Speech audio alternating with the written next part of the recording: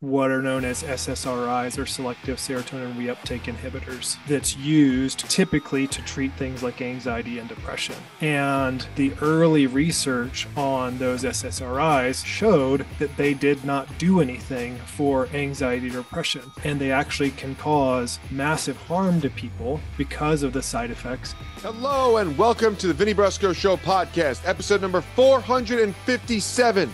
This week's episode, I'm joined by Mikey Brackett. Mikey is a mentor, a therapist, a coach, and just recently released his program called Healing the Father Wound, where Mikey helps his clients dive deep within themselves and find the male energy that may be holding them back from showing up as the best version of themselves. Mikey and I dove into a whole heap of conversation, including why vampires can't see themselves in the mirror, uh, the history of psychology and philosophy, how the father wound may show up in your everyday life, what the father wound is, and how he can guide you to being the best version of yourself. Mikey and I have been having conversations like this for the last four or five months, so it's always great to bring those conversations to the podcast. Him and I speak on the same level, at the same frequency, and it's always a pleasure to have a conversation with Mikey. So I hope you enjoy episode number 457 with Mikey Brackett.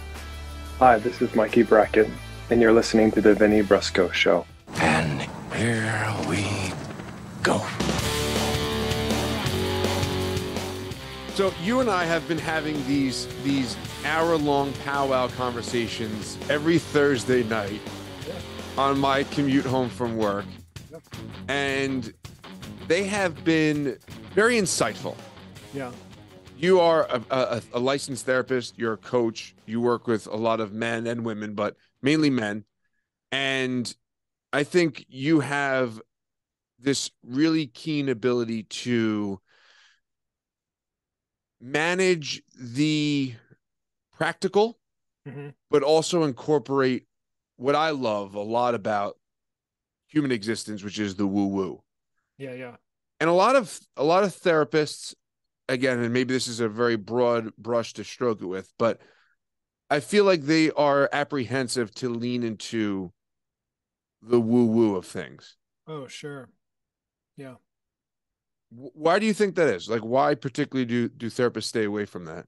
Well, I, th- I think it has a lot to do with um, the whole managed care Western medicine system um, with the foundation of modern psychology, you know, starting back with people like Freud, um, things became there became like a push for things to be more provable, more definable, more workable, more treatable.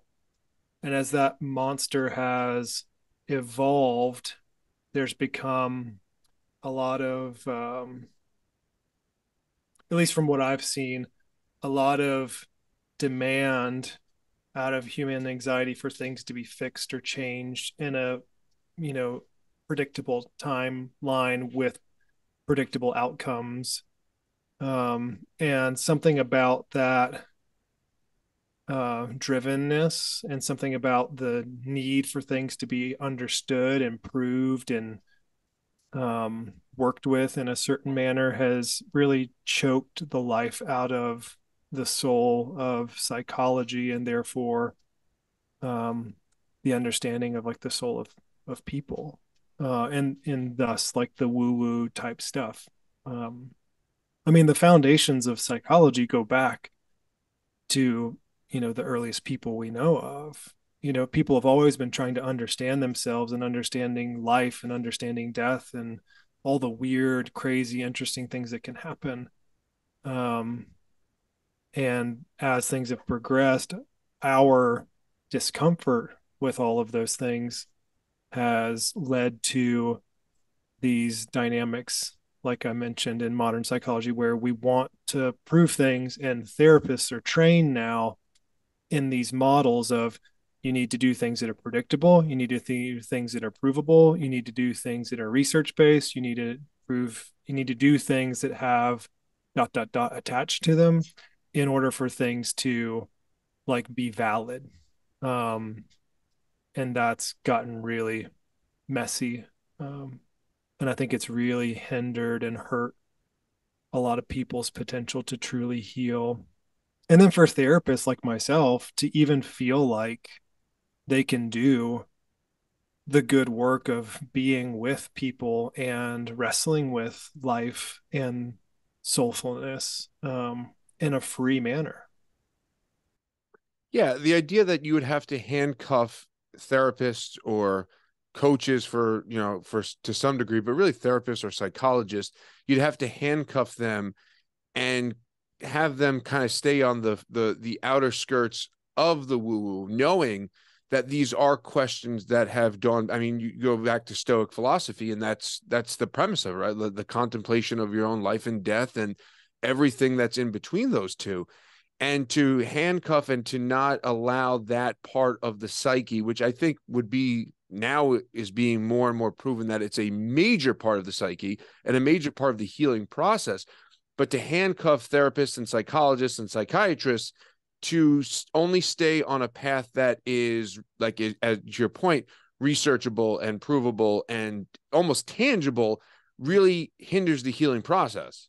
Right yeah it, it completely hinders it and the thing that i think a lot of people are starting to now realize is it not only does it hinder it but it actually does a lot of harm because you start trying to force certain things to work and produce different outcomes that may not do that because it that may not be the realm in which these real issues exist.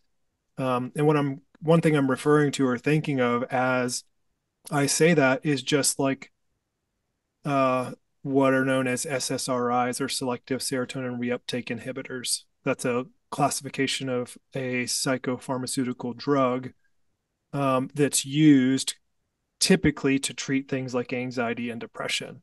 And the early research on those SSRIs showed that they did not do anything for anxiety or depression.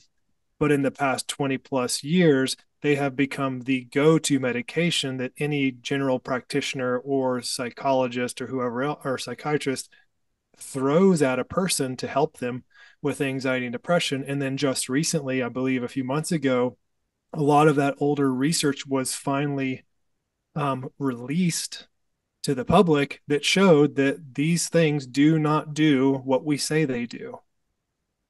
Um, and they actually can cause massive harm to people uh, because of the side effects and because of how they do alter and affect uh, neurology and neurochemistry and physical dynamics. So when you say they're not doing anything, what, are you saying that they're not getting to the root of the anxiety or the depression? Are they just kind of putting on a band-aid on the deeper issue and suppressing the actual, you know, the chemical reactions that are transpiring in the mind and the brain on a, on a tangible level?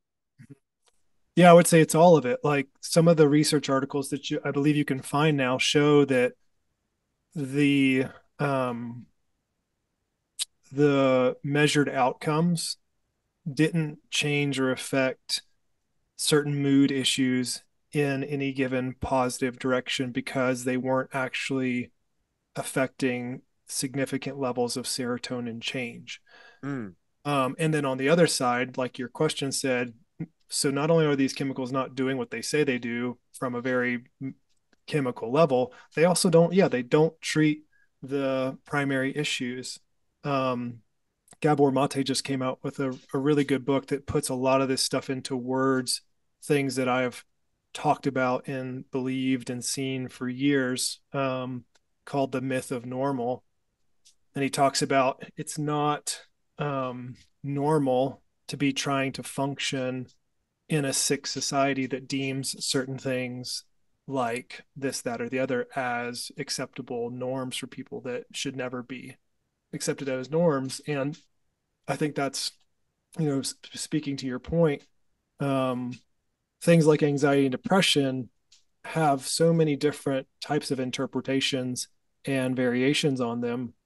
Um, and the root issue for most depressive and anxious type symptoms has nothing to do with serotonin or even um, certain levels of you know happiness it has a lot to do with like a level of the soul and how the human person's own interior being fluctuates in a normal way just like the seasons fluctuate but because we've deemed those things as bad or wrong or dysfunctional and we also have created a culture and a society that doesn't hold space for things like ritual and grieving and sorrow and all these other things when someone feels something bad, we immediately react to it and then get into a process of trying to quote unquote fix it when we need to be asking deeper questions. We need to be changing society and we need to be re- referring to these experiences of being human in a different way in our own selves.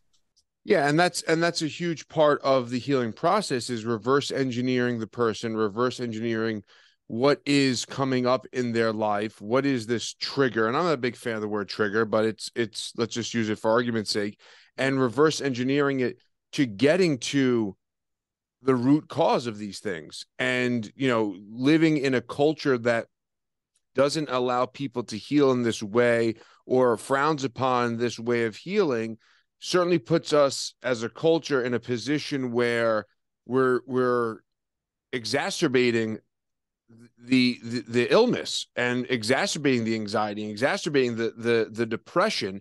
And by not allowing people to heal heal the way that is true to them and ignoring the soul and ignoring that you know that connective tissue that we all seem to have that's underlying between all of us it does prevent the healing process now this is kind of what our conversations have been recently over the phone Mm-hmm. is is multifaceted and you can go down so many different rabbit holes and one avenue that you've been going down and is a huge part of your therapeutic practice and coaching is what you call healing the father wound yeah. so define what is what is the father wound yeah so the the like basics of it are that we as individuals coming into this world you know, because how that works, we have a father and a mother.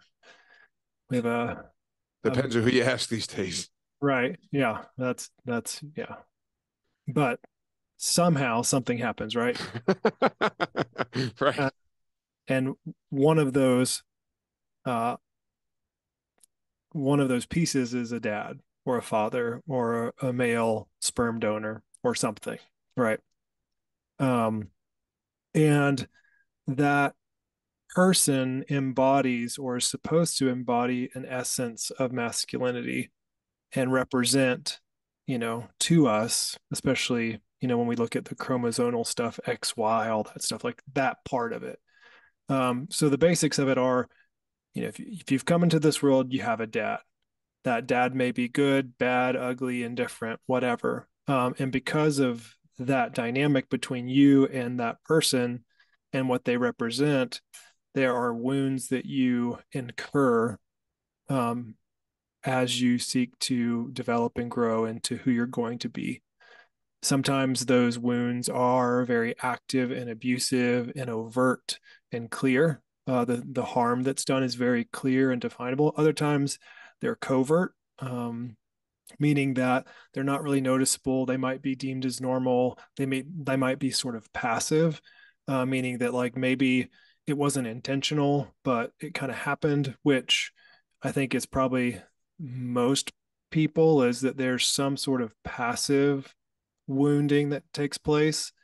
Um, and then there's kind of the general category that um, there's some mixture of the two. Um, so a father wound is basically a psychological wound that you incur as a result of being in relationship with a man, a father in your life that does not fully support and honor your identity as an individual person coming into this world uh, with your own, what Michael Meade refers to as like your own genius or your soul or your own spark. First, I guess the first question would be females could obviously experience the father wound. If this is not just a male oriented uh healing process. Yeah, it's definitely not male specific. Again, if you're a person coming into this world, you have a father on some level. Whether absent or active or engaged or whatever you have that. So it's men and women alike uh, and everything else in between. You know we as people um, have this. And you mentioned that a part of it is the essence of a father and the essence of a male. Mm-hmm. what what would you define as the essence of that? What is that male essence that you you refer to? Sure. So if we talk about this in let's say the jungian terms so the school of psychology from carl jung there's the um the structure per se of the self the person. And in that structure you have a persona an ego and a shadow. And then within that you that accumulates like the constellation of the self. Below that you have what's called the anima and the animus or which can be another way to refer to the masculine and the feminine. And so each person has a masculine energy and a feminine energy within themselves. And because of how we're wired and because of how this world works with uh, dichotomies and polarities, you know, positives, negatives, neutrons, electrons, protons, that kind of thing, there's a natural interplay between opposites. And so in this case, every person contains a masculine essence, and that is overtly contained um, in the ways we conceive of ourselves through maleness or being a man um, or being a father and things like that. And so, yeah, the reference to the essence there is less about man or woman and more about masculine and feminine. And it's also archetypal in the sense that there are masculine archetypes and feminine archetypes.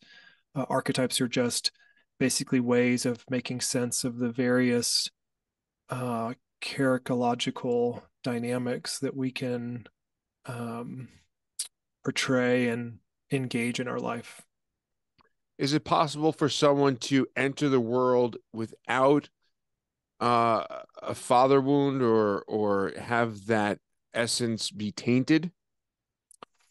Um, you know, I don't I don't know for sure. My inclination is to say no because I believe that the process of being human is a journey and a part of that journey requires and follows a trajectory of learning and soul learning and accessing really powerful dynamic things that might be more that woo woo type stuff um, and so there's something and joseph campbell did a really cool job of laying this out for us in what he called the hero's journey. But there's something within what it means to be human that that seems to be geared at a sort of development and experience that regardless of age and era and resources happens and has happened in the whole course of human history since the earliest times we can know of it and that's where you know Joseph Campbell's work around mythology, uh, history, um, and all of that, and his conceptualization conceptualization of the hero's journey is really, really cool. Um, and so, with that being true, as far as I see it and believe, then I don't know if it's possible to not incur a father wound, or in that sense, the opposite, a mother wound. Um, wounding seems to be a uh, necessary requirement um, in this life. Um, it seems to be a dynamic that contains some sort of deep knowledge that we haven't fully tapped into yet. Um, and that's a part of why I focus on this father wound stuff is there's there's something really profound in the wounding that because of how we're wired and because of what it means to be human, there's something really profound in that wounding that helps you if you'll alchemize it or initiate through it or you know other words to use would be just like heal it properly you'll access something in yourself that you never could have done otherwise. Um and so there's this there's a whole dynamic in healing of the father wound that focuses on really coming to terms with the dynamics between you and your own personal father and the the shitstorm that that can create for people especially when we look at like some of the dynamics and statistics about mental health and wellness and patriarchy and suicidality and all these other things that are happening that seem to be just overt unnecessary suffering.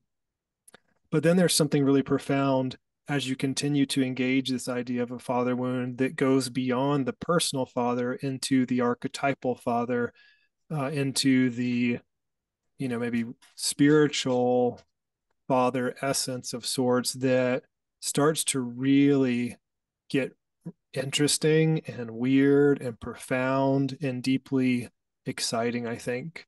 Um, but if you don't do the personal work of dealing with the wounding, the psychological wounds you have, especially your father wound in this life, what begins to happen is you really don't have access to those deeper soul realities um, that you could access because you continually operate from a foundation that um, is lacking some things that you need in order to fully go through uh, that hero's process into becoming a, a full self, um, capital S self, as Jung described it. And the thing about Joseph Campbell is that he brought the idea of the hero's journey, obviously, and that and that tale of the hero's journey is something that has transcended over time, and we see it, and you can see it in every single bit of literature, every single bit of film, your own personal life. If you were to take things to that depth level like i said oh we're having the computer issues. Is that really is that the universe or is that just bullshit? And right. you can you can you can have that turn of the stone and that perspective and you could see it either way. I could see it as up oh, technology's not on my side today or it's the universe conspiring against me or it's just trying to see how badly I want to record this podcast today. So right. there there's truth in all of those perspectives. It's just a matter of which perspective I want to focus on and what I want to put my energy into.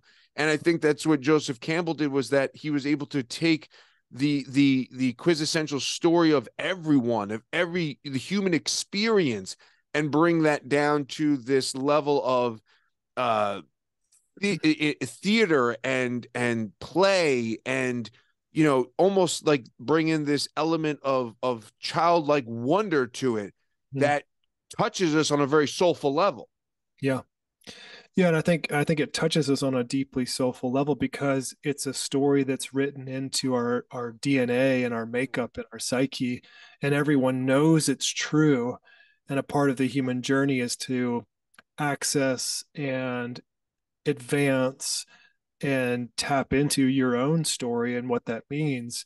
And that's why you know in so much of the work i do whether it be father wound stuff or therapeutic stuff or mentoring stuff it's like those stories are so powerful because they're calling to your soul. And the stories that call to your soul are the ones that are trying to show you and lead you towards why you're here in the first place. Um and there's a you know there's a lot of answers right of like to the question of well why are we here or what it what does it mean to be human? But you really see your unique individual dynamics when you begin to listen to your soul as it is finding connections within the myths the stories the you know the artistic expressions in the world around you um, and oftentimes things like the father wound and again i'll mention the mother wound because it's the it's the opposite. Um, those things uh, happen in the place of your deepest strength and your soul's purpose. Like it's a wound because it hits you where it hurts. It's a wound because it scratches onto something that really is vital to your existence and because of you know the craziness of what it means to be human it can be very easy to live life very disconnected from that. And so that's a part of why you know on the other side of dealing with the personal father wound and getting into the greater the great father or the archetypal father or the deep masculine like that's why it's so important is it's like oh if you can then see um and one of my mentors michael Meade says that like the wound is the doorway. Um and so again we we do the work of healing the trauma of dealing with the daddy issues of confronting the unhealthy masculine dynamics that you were raised in that are not only personal but also societal and cultural. And then we transcend that and get into the the archetypal father so that you can begin to access the power of your soul here and now and actually discover who you are and come to peace with what this life is and then begin to live out of that place knowing that you're here for a reason not in some fluffy silver lining kind of way but like there's a story written into your soul that you're here to actualize. Uh, and if you can do that there's no telling what that could mean for the evolution and the existence of humanity throughout time and in even potentially this universe yeah, and if you didn't want to get so grandiose with it, with I'm I'm with you on that level. But if you want to even just take it to a very interpersonal relationship, it also helps you buck the system, so to speak, for mm-hmm. your own children or for whomever your next of kin would be, right? It gives you the opportunity to maybe not heal it because it, it seems like it's something that is, you know, ancestral and maybe it's something that can never be healed to your earlier point but it also gives you an opportunity to see it for what it potentially also can be rather than, oh, well, mm-hmm. my dad was just a dirtbag or, you know, mm-hmm. my dad wasn't that bad. He was great, you know, but there is still something there that is underlying that is, is to your earlier point, mm-hmm. touching you on a wound and it's, it's hitting you for a reason. Yeah. Yeah. I mean, it, it is hitting you in for a reason. And yeah, to, to make it again, maybe more practical and personal and less esoteric it's like you know we all want and hope for certain things in this life and your degree of fulfillment and happiness you know in this life will come from how active you are in engaging those things in your everyday experience and being able to actualize them and the reason why you long for that stuff is because like you're here. Um and it's okay to just be here and want to make this life good and you can do that you know by taking these things seriously. Um and and it doesn't mean that you have to like and I, I have this conversation with clients all the time. They're like well like my dad wasn't that bad or you know my childhood wasn't that bad and oftentimes when someone says that it actually was pretty bad you know it's just right. dulled out because it's too painful to look at um but in the genuine cases when people say that and it is legitimately true um i i just help them recognize that it doesn't matter how good or bad your dad was on some level what matters is how you've internalized what you did or didn't get that has led and set the foundation for you to believe things about yourself to believe things about the world and to believe things about others that aren't in your best interest and ultimately probably aren't true. Uh, and again, that can come from you can have a really good dad uh, who, just because of the fact that he's human and you're human, extends a sort of wound to you that makes you doubt yourself or makes you doubt others or makes you feel a little bit on edge about this or leads you to be more biased in this direction or that direction. Um, and cultural influences as well can do that. Um, and so it's like, well, if you're going to take your life seriously as a person, you got to look at all your biases. You have to look at all the things that you don't want to look at. You have to look at um, what's actually possible and learn to listen um, and everything else in between. How do you find with your clients?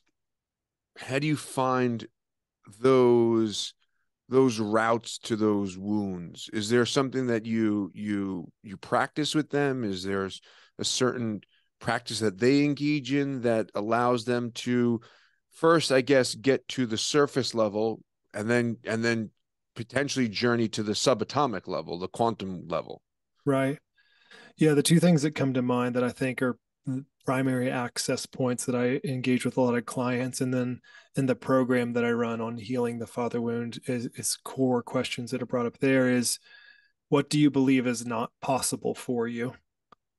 Um, those assumptions about life are a clear indication of where and how your father wound is has set the foundation for your assumptions about yourself in life um, and then in your quest of trying to understand who you are or develop a sense of identity where do you feel like it gets really difficult and where do you feel like it gets really confusing? Um, whenever a, a, client, whether it be coaching or mentoring or therapy or whatever the things I've done in the past are, it's like whenever someone's asking the question of who am I, they're asking the questions that come out of the father wound, which is a wound of identity. Uh, it's a wound to the core self that confuses and distracts away from that core, heartful, whole uh, self that can be uh, established and pursued in your own development and your own progress as a person. Um, so yeah, so if you're asking the questions of who am I, and beginning to try and make sense of the areas of your life where you feel like that's been confusing and then asking the questions of like what do you believe is possible for you or what do you believe is not possible for you? And whenever someone's being like well i can't do that or i don't know about that or you know i might could do that or i might be able to but that means this this and this that shows you too some of the core places of where the father wound has uh, set a core um, kind of stake in the ground for you as a person and it doesn't have to be this again to the earlier point it doesn't have to be this constant massive amount of abuse it can just be these onesie twosie events that's transpired within the relationship of that figure in your life mm-hmm. that has set you into some corner in the room so to speak of your mind that perhaps you just don't interface with or you choose not to deal with or you choose to leave in that corner of the room. I remember watching a a gestalt therapy session and it was very much that of this this you know very brass nose approach to therapy.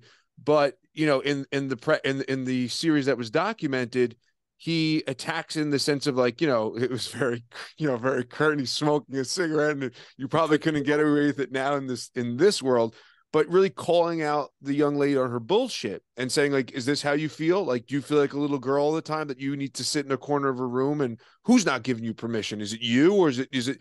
And then mm-hmm. she starts to unravel and he gets to the root of it he gets to well you make you remind me of my father and he was always right and he was this and he was that right and right.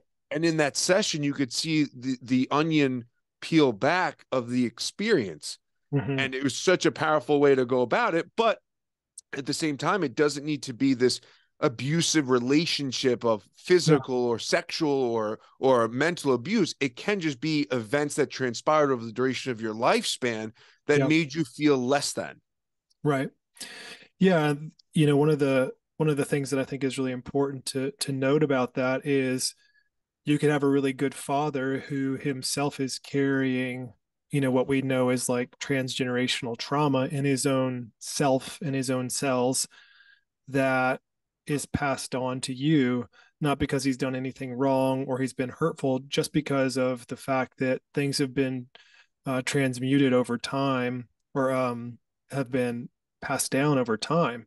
Sure. Um, and those things have a very real epigenetic cellular effect. Um, have they done studies on that where they see an actual? Yeah, yeah, yeah. I mean, there's a there's a um, oh shoot, I'm gonna forget his name now. Um, his name is Mark. What's Mark's last name? I forget Mark's last name, but he wrote a book called uh, "It Didn't Start with You," um, and it's about it's a very easy to understand, really clear book about um, transgenerational trauma. So he he he he brings it into the cellular cellular level. yeah, I mean he he introduces this idea um, in a really helpful way uh, because it's pretty again it's another one of those things when you that initial question you asked about like the woo woo being taken out of therapy and stuff like that. It's like when you start asking questions of like how is it that someone feels thinks and struggles with these things even though they've never experienced this this this this or this and their parents never experienced this this this or this and all these things would indicate that everything's okay but this problem isn't resolving in someone's life and it sends you back into like well what happened to their ancestors? What happened to their grandfather? What's the greater family story that's played out over time? Um, and one of the things that you know is is really um, really i think profound about this is the history of humanity is not a pretty history especially in the past well, I mean, uh, forever, really. The amount of bloodshed and warfare and genocide and hatred that have been extended and repeated and continued by people, you know, there's no way that that could not have an effect on us here now. You might not have been a slave or uh, a part of a massacre or, you know, in World War II or, you know, put through the Inquisition, but your ancestors were, and your ancestors' cultures were, and those cultures interacted with different things. And there's something that we've learned about on the epigenetic epigenetic level that, you know, if we take the soul out of it for a second, there's cellular changes that happen to people that get passed on to their children. And those cellular dispositions are embedded in their DNA. And depending on what happens in their life, those things can activate or deactivate certain things that are helpful or hurtful. And then that can be passed down. Sure. And it, and it makes sense on the physical level too, right? Like, you know, if you're a stressed animal, your body's going to be in a certain state, right? And it's going to react and respond to things in a different way.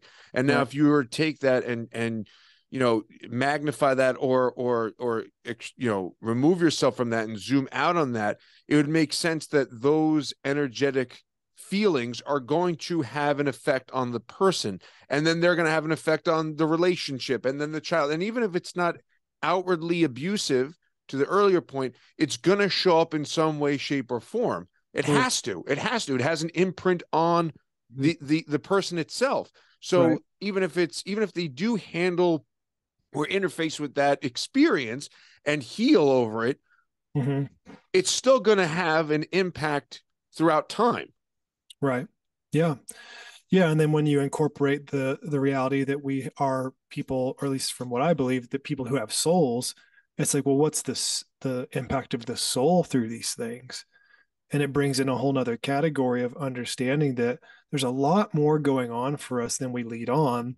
And if your parents as they did and uh, uh, most likely um, have carried, there's that dynamic of they have the cellular dynamics that have played into what is possible, what they believe, how they feel, what's real for them. And they also have the soulful level of, you know, what things they carry, whether it be a burden or a light into the world from their own experience of being a part of a greater um, experience of life through your family line and your culture. How would someone know if the father wound is showing up in their in their life? Is it something on a day to day? Is it a moment to moment? Is it you know? Is there any key yeah. factors that come out? Yeah, I mean it's all of the above. Um, the the father wound again, as I mentioned, is a is a core psychological soul wound. Um, and again, its counterpart is the mother wound. So, you know, if you're doing therapeutic work and you've never asked these questions, or your therapist or coach has never asked these questions, it would be really important to incorporate that into your process because what I've seen is that these masculine and feminine wounds are the the foundation on which almost everything is built. And so when you look at your life and you're running into struggles and problems and stressors and things that just feel like they don't get better, most likely you're running into a wound problem, uh, not just a, a life problem or a personal problem. Um, and so a lot of times, you know, the ways that you see the father wound manifest in daily life um, and i'll just say this as a, another reference point but the father wound can also be known uh, in the jungian terms as a negative father complex um, and a complex is just an, another way of describing like a personal issue um, that's a very dumbed down way of describing that but these things can show up in the the primary ways I've seen it is in drivenness. Um, so need to do more, need to prove more, need to show more, uh, need to earn more. Uh, there's a constant like I can't stop, I have to keep going kind of dynamic, an inability to rest, an inability to relax, an inability to have fun, or on the opposite side, a compulsive need to have fun, a compulsive need to avoid, a compulsive need for things to be light or easy. Um, and in the Jungian world, again, that's often what can be referred to as the puer, uh, which is an archetypal word for the flying boy. Um, and my mentor, John Lee, wrote a few books called The Flying Boy that really describe this in easy, accessible ways. Um, and if you've never heard of him or read those books, it'd be really cool. But that's a that's like a compensation. So like, you know, the flying boy can be a very wounded man, but can appear outwardly as a very spontaneous, a very alluring, a very interesting, a very dynamic person. Typically, they're very spiritual. Sometimes they're very emotional, uh, but underneath the surface, it's a very reactive process. And a lot of times, the ways the father wound shows up in that sense, uh, if we're juxtaposing like one manifestation looks like the driven go-getter businessy success oriented achieving oriented person who will sacrifice a lot of themselves for the external validation of money finances success image that kind of things the juxtaposition of that is the the flying boy um, which is the hippie the social justice oriented person, the adventurist, the thrill seeker, the creative type. Um, but the reaction here is, you know, the driven person is reacting out of a wounded place that is trying to prove their identity in the world.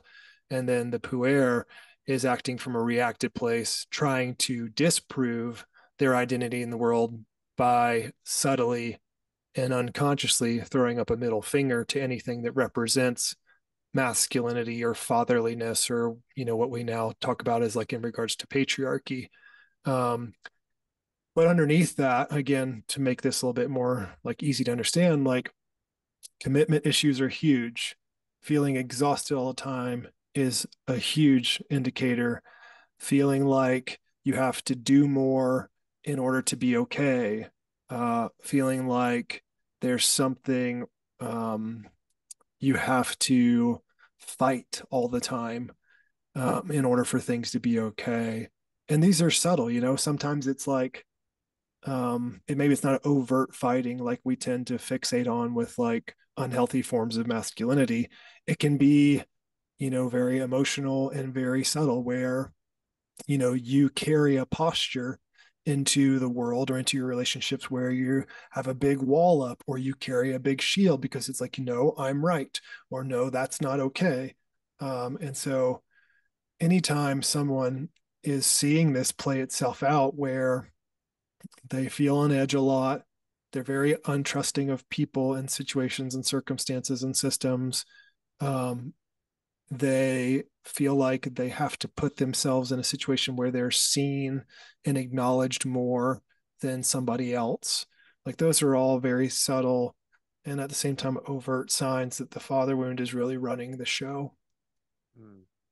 And it makes sense. It makes sense if you reverse engineer it, mm-hmm. and and you and you take either one of those stereotypical males to mm-hmm. their own degree, and you were to actually sit down and reverse engineer what's actually transpiring, it would lead to some type of compensation yep. uh, on some level, and it could be you know to the to the point of where you're overworking, or it can come to the point where you know you want to live in a van down by the river, right? And both both are being expressed in some way but again when you do the and that's something that's been a big part of my own you know self-awareness would be that if something triggers me Mhm. rather than just being reactive i go why is that bothering me like Right. what is it about that that's really bothering me and i and i do my best to sit and uh reverse engineer Yeah. the the steps that have taken me there on this physical level like what actually happened Mhm. and then i go on i i do my best to go on a deeper level and go okay well where's that coming from because you could say well that guy's a dick and that's might be valid sure. but there's also something about that dick that's bothering you so Mhm. you need to really look inwardly and and and that's a potential route to heal Right. Yeah, it's a huge route to heal. And, you know, I, I see this equally in men and women. And the questions that I often ask are, um, you know, what's under that, right? Like, um, you're asking in your own self inquiry, like, okay, where's this coming from? right And I often will ask, you know, what's what's below that because there's a need and a desire typically below even those things that we have a hard time acknowledging. A desire to be seen, a desire to be acknowledged, a desire for someone to be curious in us, a desire to feel the relief and the the ease that comes with someone truly helping you and supporting you and being with you in a process. Um, and a lot of times those needs and desires we internally um, because we've internalized the critical father or we've internalized our father wounds will be really harsh with those things you know maybe a part of the dynamic like you're talking about for yourself is you don't let these things happen or you struggle with that or re- you react to this person because underneath the surface you're you're really feeling you know insubstantial in your own self and Right. because you don't feel substantial in yourself you know following the trail of whatever there's a part of you that believes that someone treating you poorly is justified um because underneath all of that is a wound that says yeah you're not you're not worth being seen and acknowledged and held in a unique light and perspective that validates the fact that like you deserve to be treated well and you deserve to be seen uh, in a really profoundly beautiful way. Well, it's weird because it's it's it's it's both sides, right? There's the, you know, the culture of, you know, you're a unique snowflake. And then it's, you know, and then it's the other like, no, you're not, motherfucker. You know, Right. and and both of those are needed and valid.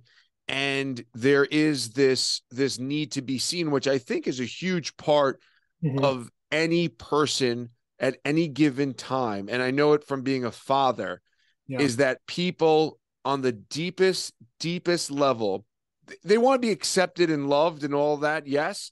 Yeah. But on the truest, deepest level, people want to be seen, which I think is is a is is a point of their soul. I think that's that's what it is. Their soul wants to be Right. seen and not necessarily accepted or loved or eh, or that's mm-hmm. that's kind of the next layer. But at the root of it, I think being seen is the most quintessential foundation for human existence. Right. And I would say that is a direct tie to the father wound because the masculine's role, uh, the father's role in the creation of their child is to see them, to validate them, and help them form a full identity. Um, you know, I often talk about how the father wound is a wound to identity and the mother wound is a wound to worth. Um, and so if you struggle with worth and value, you might be in the realm of mother wound. If you're struggling with identity and purpose and things like that, you're in the realm of father wound. And it's it's in that role that the father's job is to see, to truly reflect and mirror back to his child the profound reality of who they are. And then it's the mother's job to hold that child. And so with the combination, you know, because I often say that the father wound and the mother wound are two sides of the same coin. Um, when you have the combination of a person that is seen and held in this world, then you get the felt experience as a person of being and feeling like you're okay and that it's okay for you to be you and that it's okay for you to be here now. And oftentimes, a lot of people when they're struggling with is it okay for me to be who I am? Is it okay for me to be here now? Can I take up space? Can I ask for what I need? All that kind of stuff. That's a that's a direct pull out of this father wound that says, you know, oftentimes what happens internally for someone who has a father wound is because the father doesn't see the child, they don't validate and challenge them in an appropriate way. Someone will say, well, then I don't exist. Mm. It's like looking in a mirror and not seeing a reflection. Oh, that's fucked up. You're like a yeah. vampire. Right. Well, exactly. Well, I mean, when we talk about mythology and stuff, it's like those mythologies and those stories of like vampirism. It's like if you really read them, and if say you want to geek out on it, it's such a portrayal of. You froze. Oh, you froze. Thank you for watching episode number 457 with Mikey Brackett. Unfortunately, we came across some technical issues and some of the episode was lost, but we will be recording part two of this podcast in the coming weeks. So I look forward to bringing that to you. Every time Mikey and I connect, it's always a deep conversation, a meaningful conversation. And I hope you got a lot out of this conversation and the next one. So I look forward to sharing that conversation with you even further. Do me a favor, subscribe, rate, and review the podcast right down below means a lot to me, helps with the algorithm, helps with all the nonsense that I quite frankly don't understand, but it does mean a lot to me. So I appreciate that. And I will check you guys out next time. Until then, much love. Peace.